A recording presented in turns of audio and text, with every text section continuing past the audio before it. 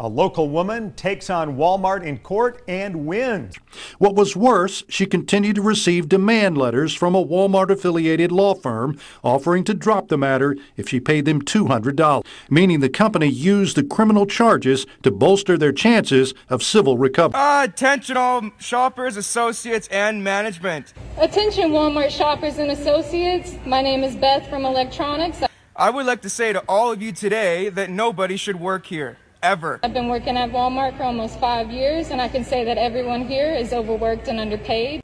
Our managers will make promises and never keep them, and not only that, they will preach to us about how they care about their employees. But about a month ago, my boss, assistant manager Cora, called me a waste of time and management did nothing to help.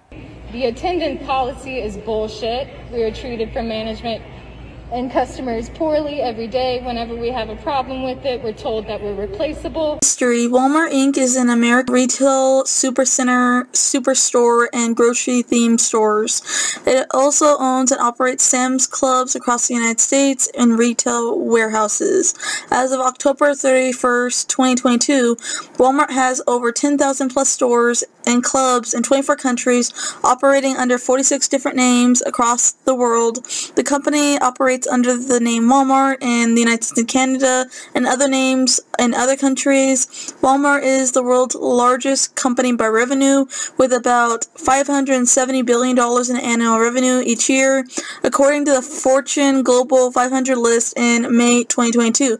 It is also the largest private employer in the United States and in the world with 2.2 million employees they employ. It is a publicly traded family-owned business as the company is controlled by the evil capitalist pigs, the Walton family. Walmart employee, she's been looking at us, but she won't come over.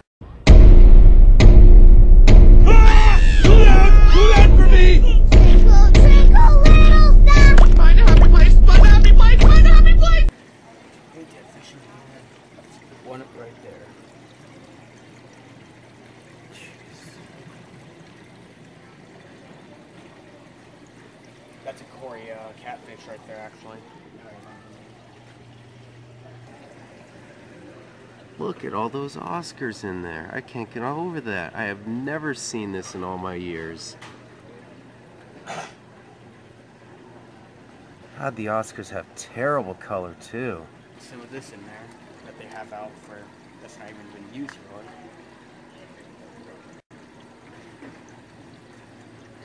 Stabilize the pH and bring down the ammonia.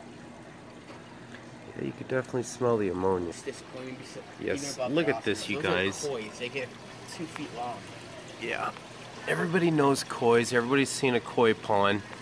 You guys know how big they are. I mean, these kois, gosh, they're a good three, three and a half inches long. And they're all shoved in maybe a five gallon aquarium. Maybe.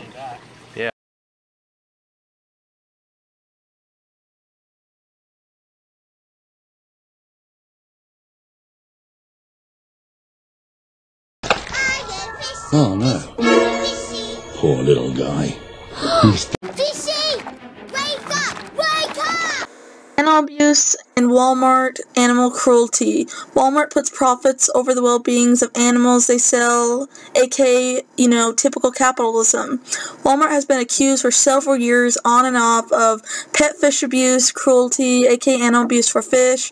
I myself have been a victim of this. I bought multiple fish from their store. They were all sick and bad quality.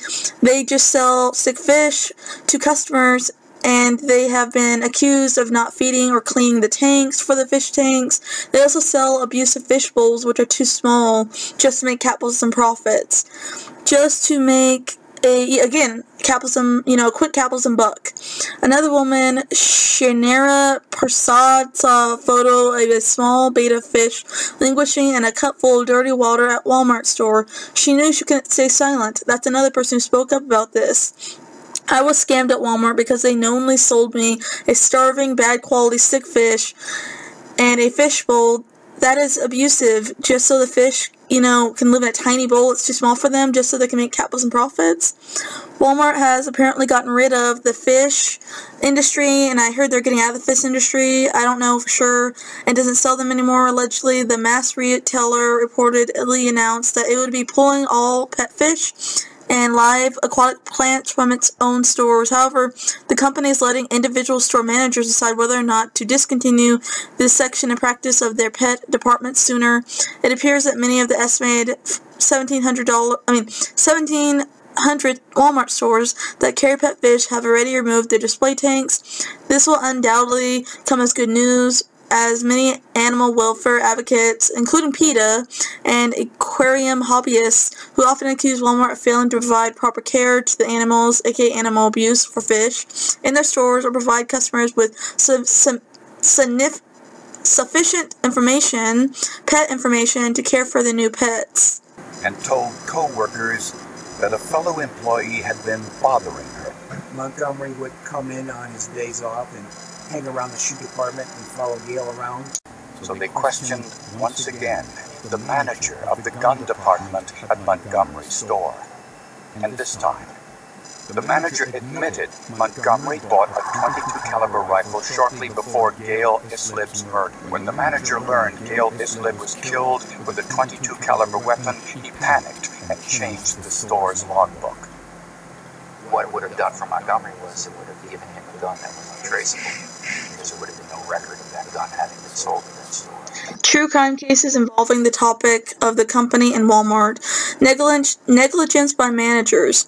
At the Manchester Walmart store helped a former employee buy a rifle at Walmart he allegedly used to murder his own co-worker, Gail. The lawsuit also alleges that Walmart management knew Montgomery was stalking and harassing Gail, including at the store, but did nothing to stop him. Gail's family has said that the days before her death, she had repeatedly requested a transfer to another department to get away from the man that was stalking her, aka Montgomery. The woman's husband contends in the lawsuit he filed.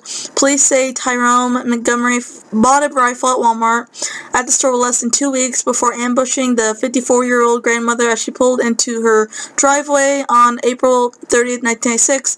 A former Walmart sport goods manager has been charged with helping Montgomery 26 acquire the gun illegally and with destroying evidence of the transaction by trying to covering it up and lying to the police. An investigator has he hired also turned up evidence that Walmart's supervision recorded keeping and training of employees in gun sales was severely lacking in the area. This true crime case was featured in Forensic Files documentary if anyone wants to check it out. Walmart pharmacies fueled an opioid epidemic. William County father targeted by Walmart security, suspected of possibly kidnapping his three little girls, all because they aren't the same race. At the center of this case, shoplifting accusations that led to a $2.1 million verdict. Leslie Nurse says she was at the self-checkout at the Sims Walmart with her husband and three kids, fighting a malfunctioning scanner, even getting help from a Walmart associate. After she thought she'd finished and paid, she was stopped by an asset protection manager. She was eventually charged with stealing $48 worth of groceries, 11 items in all, including Christmas lights, a loaf of bread, and Cap'n Crunch cereal. She was eventually arrested, mugshot taken, but the criminal charge was eventually dropped when no one from Walmart showed up to court. By then, she said, the damage to her reputation had already been done, her ability to make a living stifled by the criminal charge. At first you think, oh, well, I'll pay it and then it'll all go away. But then I'm like, you know, I, I didn't do anything wrong. Why would I pay for something that I didn't do? But it turns out many people do. During testimony in the lawsuit she filed against the company, an expert testified Walmart routinely uses what are known as civil recovery laws in many states to get people they've accused of shoplifting to pay up. Testified that in a two-year period, Walmart charged some 1.4 million people across the country with criminal theft of property and ended up collecting more than $300 million through their civil demand letters in the same period. The lawsuit Nurse filed against Walmart charged the company with abusive process. Exactly, that they prosecuted her solely for the purpose of getting what they call civil recovery on money. To add insult to injury, Walmart never produced a video that would have been recorded at the self-checkout area that would have proved Nurse shoplifted or didn't. It would have shown the truth and that they didn't want the truth to be shown. At the end of this lawsuit, filed in 2018 and delayed by the COVID pandemic, a unanimous jury found for Nurse and awarded her $2.1 million in punitive damages. Hope it makes a difference. I don't want anybody else to have to go through this again. Here are just some of the customer lawsuits from Walmart. An Alabama woman who says she was falsely arrested for shoplifting at Walmart and then threatened by the Walmart company after her case was dismissed has been awarded $2.1 million in damages. She was stopped in November 2016 when trying to leave a Walmart with groceries. She said she already paid for According to AL.com, she said that she used a self-checkout, but the scanning device froze. She got help from the workers that worked in that section, and when she was leaving, workers didn't accept her explanation, and she was arrested for shoplifting despite actually getting help from the people there. Her case was dismissed a year later after the one employee failed to show up in court.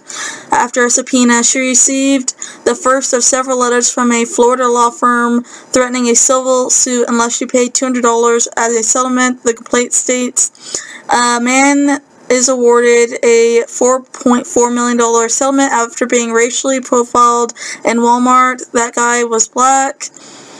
And on to the biggest thing, how Walmart treats its workers and anti-union buster activity. Management will also try and save money every step of the way, including cutting benefits of a part or a full-time associate down to down to part-time, even though he worked 40 plus hours a week. I'm tired of the constant gaslighting. This company treats their elderly associates like shit. To Jared, our store manager, you're a pervert. Greta and Kathy, shame on y'all for treating your associates the way you do. I hope you don't speak to your families the way you speak to us. I've been a loyal employee here for over a year and a half, and I'm sick of all the bogus write-ups and my job. Walmart doesn't deserve y'all.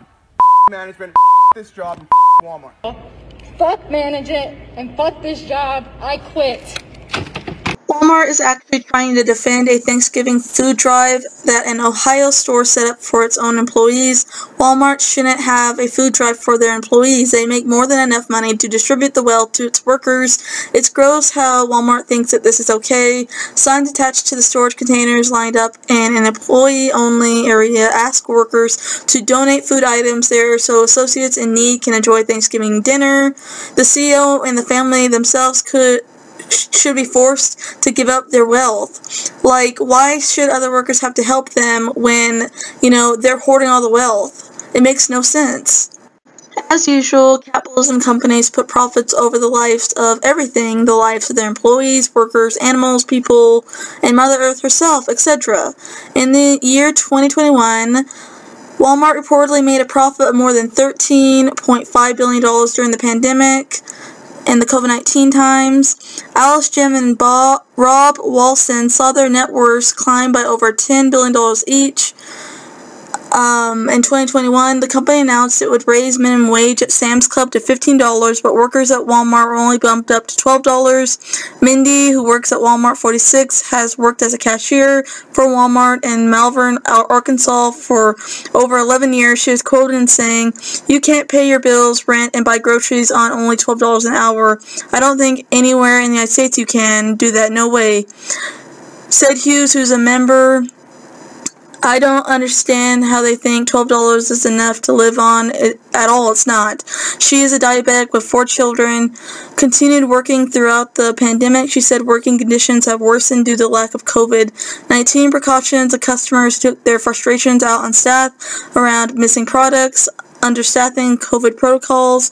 If you want to see the effect that caring culture has on the mental health of employees and the physical health of employees, check out my fast food deep dive video for more on the topic of Karens and public harassing employees in public.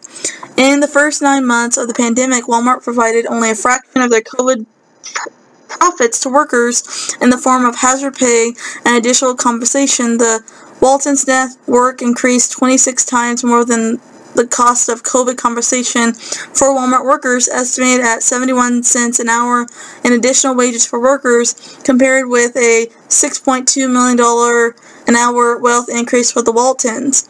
Peter Naughton, a cashier and self-checkout host at Walmart, he said many of his coworkers have additional jobs on the side because Walmart CEOs are riding off the backs of the workers and the fruits of their labor like toll parasites, rental subsidies, and other governmental relief programs in order to make ends meet. In April 2021, he had to actually vacate his own apartment because and move in with his parents because he couldn't afford the rent anymore and other bills on top of that on his salary at Walmart because the owners who own Walmart are treating them and others that work at Walmart like wage slaves so the family can buy expensive luxury homes and mansions and fund their luxury lifestyle all while their employees live on the street and are basically homeless. Walmart Hair Ben pays $22 million for Cherry Hills Village properties. Rob has a house in Paradise Valley, Arizona near the base of Camel Back Mountain in the past. Protesters have rallied outside of his Arizona home to advocate for better wages and working conditions and treatment for workers as a whole, as they should. Rob also has a large collection of vintage cars. In 2013, he ran his Daytona Coupe, which is worth $15 million at the time, off the tracks and wrecked it. The car was only one of five ever made. Pregnant women who worked at Walmart allege they have been unlawfully punished and fired for health hazard related abstinence and face the threat of losing their jobs for seeking out proper medical care and have filed a lawsuit. Maintains a no fault, that's the thing that Walmart does, they maintain a no fault abstinence control policy towards its 2.3 million workers.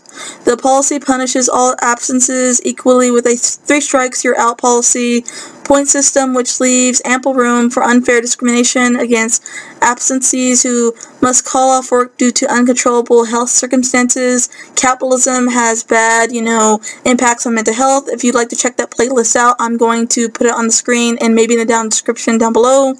That includes pregnant women who have medical needs. Employers are required to accommodate under existing anti-discrimination laws. Walmart, however, appears to operate in ignorance of these policies. Hoover, a victim of capitalism from Walmart, discovered she was pregnant while working as a Walmart jewelry associate in Albany, New York. After vomiting for three days straight, she became dehydrated and requested to call work to go to the hospital, fearing for the future of her pregnancy, her baby, the fetus itself, and her health. Her manager responded with a warning that she that the absence would count against her with the three strikes you're out rule. With no other option, she admitted herself and spent four hours inside receiving flu fluids intravenously because she could not hold down any medication. When she arrived for next shift, her manager fired her declaring that her absence was inexcusable and claimed that Walmart does not accept doctor's notes. I was devastated when Walmart fired me, she said. I had a baby coming and all of a sudden now I can't pay my bills. I am bringing this lawsuit because what happened to me was wrong and I want to make sure that Walmart is held accountable so that other pregnant women and women as a whole won't be treated like I was. Another victim of capitalism, Kayla, became dizzy and feared it was due to a miscarriage while at work. When she informed two managers that she needed to leave to go to the hospital, she was similarly warned that the call off would count as a strike. Months later, Pop awoke and began vomiting blood, and she needed to miss her shift to go back to the hospital. When she was called in and explained her situation, she was informed that if she did not show up to work, she would lose her job and be fired. Walmart is going to pay $410,000 to settle a EEOC sexual harassment lawsuit as well. According to the EEOC's lawsuit from 2014-2018, a male employee of Walmart store in New York regularly made unwelcome sexual advances and comments to female co-workers and touched female workers without their consent, which is sexual assault. The EEOC alleged that Walmart management knew of this conduct for years, including have received written complaints and did nothing about it. Walmart has been ordered to stop threatening workers who support strikes or participate in union organization activities. Walmart has settled a long-running battle and dispute with labor activists over the store's policy of punishing workers that support union organization activities. The agreement forces Walmart to acknowledge has violated federal labor law in many of its California stores. Walmart has fought unions for years. It holds regular meetings with staff reviewing the benefits of a non-union store. It spends millions in legal actions each year in an effort to stop its 1.5 million workers from joining labor organizations or unionizing. In the California case, the NLRB concluded in 2016 that Walmart took illegal action against the employees. Walmart broke the law when it punished its workers for exercising their federally protected right to peacefully protest the agreement acknowledges that Walmart dress code restricting union apparel violated the U.S. Walmart stands out for its sheer magnitude and aggressiveness of its anti-union activity and actions. 57 class action lawsuits filed since 2000 complaining that Walmart broke wage and hour laws by forcing workers to work off the clock, failing to pay them overtime and denying them meals and rest breaks in between. The largest class action employment discrimination lawsuit in U.S. history. Through videos and management presentations, Walmart often warns new workers and employees during their orientations about the negative impact and consequences of organizing and starting a union, providing a heavy spin on perpetuated drawbacks. The company provides similar warnings to managers at all levels and gives them explicit instructions on preventing union formalization, such as carefully monitoring, monitor, monitoring store moral, many of which are contained in the company's manage, manager's toolbox. Walmart hired defense contractor Lockheed Martin to gather intelligence on activist workers as well